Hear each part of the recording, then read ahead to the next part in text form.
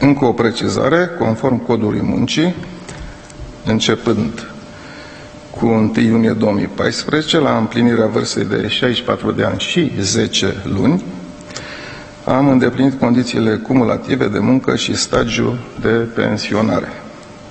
Dar contractul meu de muncă cu Banca Națională a continuat pe baza deciziei Parlamentului de numire în funcție de guvernator. Nu am depus cerere de pensie la Casa Teritorială de Pensii și ca urmare nu mi s-a calculat, nu mi s-a stabilit, nu am încasat pensie și nu s-a acumulat pensia cu salariu.